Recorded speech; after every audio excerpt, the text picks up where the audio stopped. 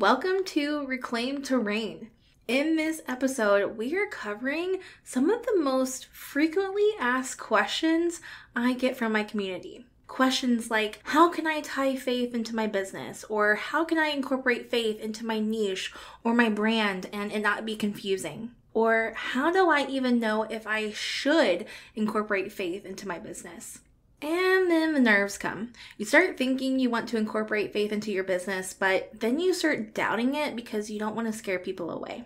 I totally get this, which is why in this episode, we are going to cover how to know if you should infuse faith into your business and three ways to incorporate faith into your business successfully. That being said, grab your pen and paper, maybe a cup of coffee, and let's dive on in.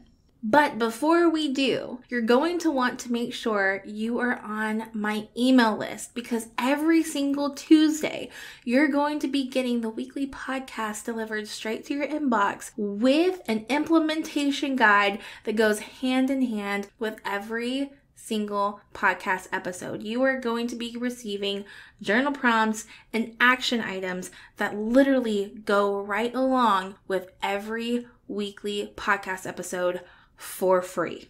This is because I am all about implementation. And while I love that you are listening to the show, I really want to make sure that this sinks in for you and that you are taking aligned action. So if you want access to the power prompts, aka your implementation guide every single week, definitely make sure you are on the list by going to bit.ly slash power prompts. And I will also have that linked in the show notes for you. So without further ado, let's really dive on in. Hey Queen, welcome to Reclaim Terrain. I'm your host, Hannah Brindley, daughter of the King, certified life coach, and faith fueled business mentor. I know you are so sick of feeling like you work so hard in your business with little to no reward while staying in this same cycle of self sabotaging tendencies you know are keeping you stuck.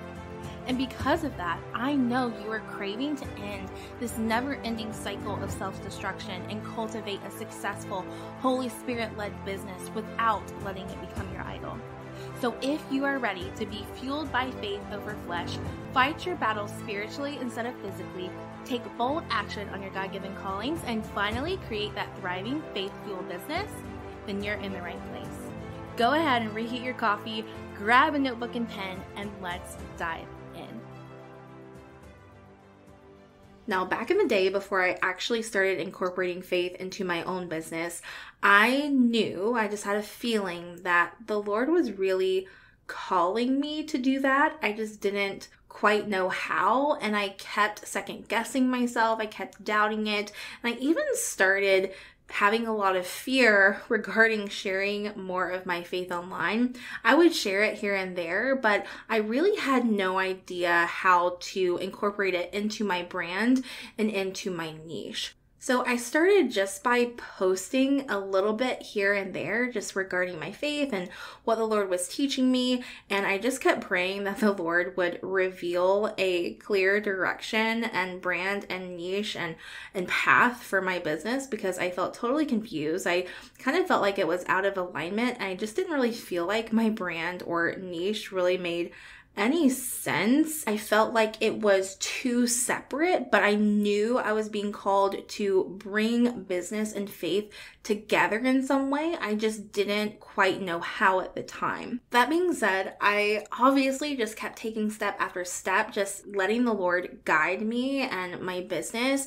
And wow, like He has revealed so much to me around bringing faith into business and into different niches. And now I get to help people do it every single day. It is truly incredible. But I know one of the biggest questions that you have right now is should I even bring faith into my brand or niche or my business? So, we're going to tackle that question first, okay? So, to start here, there are three big clues to know if you should be incorporating faith into your brand and into your business. Let's dive into each one. The very first one is that if it has been put on your heart. This might seem a little cliche, but listen, if you keep wondering if you should be incorporating faith into your business, I would bet it has been put on your heart for a reason. If you feel like it's been put on your heart, but you're still questioning it, I would ask yourself these questions Where are the doubts actually coming from? Are the doubts coming from my flesh, or are the doubts coming from the Lord? If this is something you keep coming back to, yet you keep ignoring due to fear of the unknown or fear of change, Holy Spirit is probably gently nudging you to move forward with this and obey Him despite the fear. However, if you are wanting to incorporate faith simply for selfish purposes, I would encourage you to rethink this and realign your motives and your intentions. So let's move on to clue number two. Clue number two is that you're lying if you actually don't bring faith into your business. Now, what do I mean by this? You should know if you should incorporate faith into your business, if you would be withholding from your clients and community or lying to them if you don't bring it into your business. I know this seems a little extreme, but let me give you an example. Back before I started incorporating faith into my business, I had a huge wake up call with Holy Spirit. Now, you've probably heard this story before if you've listened to my podcast at all because I talk about it very often. But if you haven't heard it, please go back and listen to episode one of the show. I go into a lot of detail about this wake up call. But basically, when I was really struggling financially and also trying to control the situation with my own strength, I ended up surrendering it all to the Lord. I actually begged Him to take away my obsession with success and money in my business and replace it with an obsession for Him. And in that moment, I can't even explain it to you, but He was so present, and I just felt this immense wave of peace. Like I knew I had finally surrendered, and it was so freeing. But then the crazy thing is, or not so crazy thing, is that the very next day, I ended up somehow getting on two sales calls and closed them both on the phone back to back. And I knew that wasn't a coincidence, and it was totally all because of Holy Spirit. He flowed through me as soon as I stopped trying to do it all on my own without Him. So, that being said, while learning the skills and strategies needed to grow a business are super important.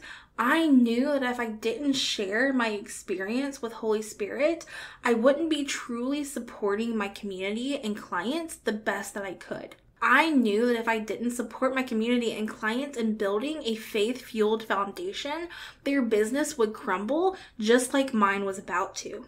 And I also knew that the true freedom my clients are actually searching for isn't in their business, it's in Jesus. It's not in financial freedom or time freedom or anything in this physical world. It's with Jesus. So I knew I had to speak up.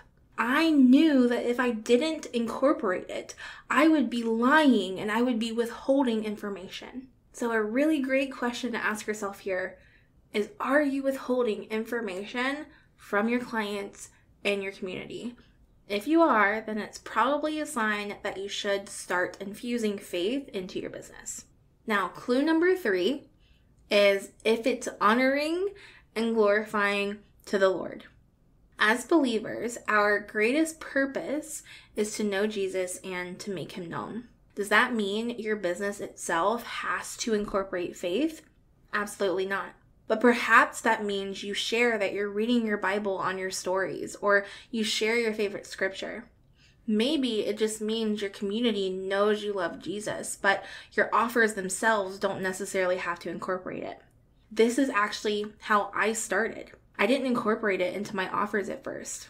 I simply started by incorporating it into my content. And from there, I knew I had to start incorporating it into my offer. So, as you can see, your business itself does not have to incorporate it. However, if He has called you to know Him and to make Him known, then it's time to make Him known. You don't have to do it on social media or with your business per se, but I do encourage you to make Him known somehow. Now, for me, I chose my business because my business ultimately is my ministry. Now, those are the three clues to know if you should actually bring faith into your niche and your business. And once you pray and you journal this out and you just ask yourself these questions, and then maybe you uncover that you actually do want to start incorporating faith into your business, I actually have three ways that you can start doing that today. So let's go ahead and dive into the first one. So, number one is to actually start incorporating specific faith topics. Now, there are so many ways to seamlessly do this, but I've found that there are three major topics to include to incorporate faith, no matter what your niche is. So, let's talk about each one of those. The first one is identity. So, you can probably guess that this is all about putting our identity in Christ. Now, why is this important for every single niche and how do we do that? First and foremost, if we are subconsciously not putting our identity in Christ, we end up putting our identity in other things like our business, money, our looks, relationship status, weight, productivity levels, and the list could go on. So essentially, we will measure our worthiness by things that we see in this physical world, which means we are putting our identity in this physical world and not in Christ. Now, because of this, this can be seamlessly added into your coaching, into your curriculum, into your content, no matter the niche, because it's more than likely that your potential clients and community have probably unknowingly linked their identity with their current reality in this physical world. So, as an example, let's say they are not making any money in their business, or they can't seem to lose 50 pounds, or they've been single for years and want to get married. You know, I've also found this goes hand in hand with idolatry. I'm going to use myself as an example here. When I was so obsessed with my business and making money, I was unknowingly idolizing success in my business, and that's because I also unknowingly linked my identity to it. So, if you want to start incorporating this into your business, you'll want to start out by making sure your community and your potential clients and your clients really understand their identity and their worthiness is found in Christ alone. Truth be told, this is a really core topic that you will probably always come back to in your coaching or your course if you are going that route. Now, if you're not sure where to start with this, get in the Word. Really, just get in the Bible. That is going to tell you everything you need to know. Now, as for the second topic that you can cover, it is spiritual warfare. Spiritual warfare is happening at every moment. So, how can you incorporate this into your business? No matter what your niche is, you will find that your client will run into roadblocks, limiting beliefs, or obstacles that get in the way. And as a mentor, it is part of your job to help lead them and support them through these obstacles. And I have personally found that anything going on in the spiritual manifests in the physical. There is constant warfare going on between both sides. So instead of just simply coaching them through the physical, you can coach them through the spiritual. But how do you do this? You teach them how to fight spiritually instead of physically, using prayer, putting on the armor of God, taking thoughts captive, teaching them about healing and deliverance. You get to encourage them to get into the Word and spend time with God. There are truly so many ways to do this, but that will help get you started. Now, the third topic that you can cover is Holy Spirit guidance. I have found that many individuals want to be guided by the Holy Spirit, and truly, this is so important. So, how would this actually work in your business? First and foremost, you will want to encourage them to listen to Holy Spirit over everyone, including yourself and their own flesh. So, for example, if you're a health coach and you're finding that your client can't seem to stop eating junk food, encourage them to get into the Word and pray and ask the Lord what He wants them to do regarding their decisions. If you're a business coach and you're finding that your client is all over the map with ideas, ask them what one thing the Lord has been putting on their heart. Encourage them to get into prayer and in the Word and see what they discover. Then have them go all in on that and let all the other distractions pass by them in that season. Now, as for me, I also like to incorporate hearing from the Holy Spirit in your business or recognizing when you're being guided by your flesh or the enemy in your business, and deciphering between trials from God and temptations from Satan in your business. So, as you can probably see, identity, spiritual warfare, and Holy Spirit guidance could all be major topics you can incorporate into your business. And the thing is, is that I'm super passionate about making sure that this truth gets spread. So if you see someone else talking about identity in Christ or helping others navigate through spiritual warfare or hearing from Holy Spirit, try not to compare yourself or get jealous or feel like, oh my goodness, we're doing the same thing. This is a good thing. we should want to get the truth out. So if you find yourself getting jealous or insecure when you see someone incorporating faith into their business the same way you do, then I want to encourage you to get back to Him and take a look at your intentions. Take a look at your heart again. Because I want to gently remind you here that this isn't necessarily your business. This is God's business, and you are a vessel for Him. Comparison, jealousy, and pride are really sneaky ways for the enemy to weasel himself back into your life. Don't let him. Take those thoughts captive. So, all of that to say, let's move on to the second way that you can actually be incorporating faith into your niche or your business. So, the second way you can be doing this is actually putting a faith based spin on your brand pillars. This is where you're going to want to think specifically about your ideal client.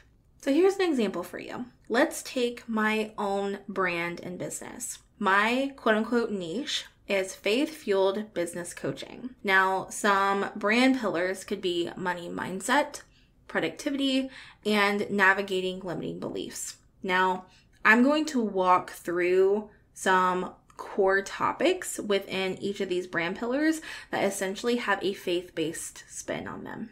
So, for the first brand pillar of money mindset, I can talk about the topic of how to stop finding your identity in money and lack thereof, and finding your identity in Christ instead. Another topic I could cover is navigating charging for services while also not being greedy or viewing money as an idol. And then another topic I can cover is being afraid of money is still giving money the power, and the only entity we should be giving power to is God. Then, as for the brand pillar of productivity, I can talk about taking intentional steps towards God's mission without letting it become your idol, obeying God by putting faith into action, and learning the beautiful balance of discipline and surrender. And then the last brand pillar I have for you is navigating limiting beliefs like doubt, imposter syndrome, and perfectionism. And things I could cover look like how to fight them by putting on the armor of God, how to take thoughts captive, and forming battle plans. And battle plans are essentially how I fight my battles spiritually and how I teach my clients to fight them spiritually as well. So, as you can see, I took topics talked about often in the online space, like money mindset, productivity, and navigating limiting beliefs, but I put a faith based spin on them according to what my ideal client actually needs. And you can do the same thing with yours. So, this leads me into the third way you can actually bring faith into your niche and your business, which is by focusing on your community. Here's what I mean by this you can be praying for your clients, you can pray over your clients on calls. You can pray over your potential clients and pray for them on calls. You can host group Bible studies for your clients or host prayer circles. You can encourage people in your community to send you prayer requests in your stories or email or in your Facebook group. You can ask your clients how you can best pray for them each day or week. You can encourage your clients to dig into scripture or give your clients a set scripture to read and study. There are so many ways you can incorporate faith into your business. And I know I did not name them all here by any means, but I do hope all of this gets you started in some way. So, if you enjoyed today's episode and you really want to take time to implement this, then I want to encourage you to join the weekly email newsletter. Because if you are on my email list, you will receive an email every single week with the podcast episode delivered straight to your inbox, in addition to power prompts, aka journal prompts and action items, which is essentially your implementation guide, that go hand in hand with every single podcast episode moving forward. If you want to make sure you are on the list, make sure you go to bit.ly slash power prompts. That is bit, B-I-T dot L-Y slash power prompts. I will also have that linked in the show notes for you. I hope to see you in my inbox, but if not, I will see you in the next episode. Bye, friend. Hey, Queen, don't head out just yet. If this podcast has blessed you in some way, it would mean the absolute world to me if you left a written review of the show over on Apple Podcasts. It truly lights a fire in me knowing how God has impacted you through this platform. And since I absolutely adore connecting with you, please, please, please screenshot this episode or your review and post it on your stories on Instagram and tag me at Hannah Brindley. I can't wait to see you over there. So much love to you.